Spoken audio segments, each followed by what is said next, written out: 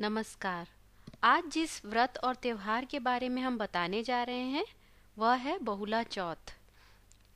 यह north Indian calendar, यानी उत्तर भारत के कैलेंडर के अनुसार भाद्रपद की कृष्ण पक्ष की चतुर्थी को मनाया जाता है। और अगर हम गुजराती और मराठी कैलेंडर देखेंगे तो उसके अनुसार श्रावण की कृष्ण पक्ष की चतुर्थी को मनाया जाता है।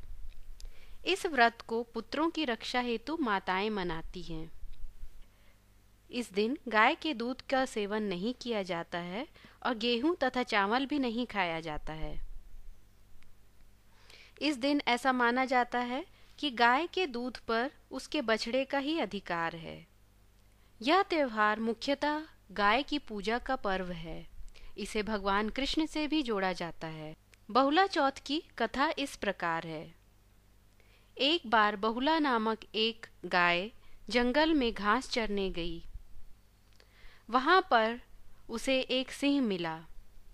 सिंह उसे मारकर खाना चाहता था, पर बहुला ने उससे आग्रह किया कि उसका एक बहुत ही छोटा सा बछड़ा है, जो कि भूखा है। वह उसे दूध पिलाना चाहती है। अगर सिंह यानी शेर आज्ञा दे, वह जाकर बछड़े को दूध पिलाकर वापस लौट आएगी। सिंह ने, सिंह को गाय पर दया आ गई और उसने उसे जाने दिया। बहुला अपने वचन के अनुसार अपने बछड़े को दूध पिलाकर वापस लौट आई। यह देखकर सिंह बहुत ही खुश हुआ और उसने बहुला को जाने दिया। श्रावण और भाद्रपद मास, मॉनसून का मास होता है, इसलिए किसान खेतों के साथ साथ गाय की भी, गोधन की भी पूजा करते हैं।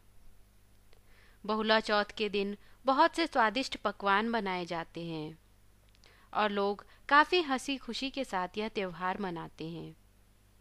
आप सभी को बहुला चौथ की बहुत बहुत बधाई। आशा है हमारी यह छोटी सी जानकारी आपको पसंद आई होगी। धन्यवाद।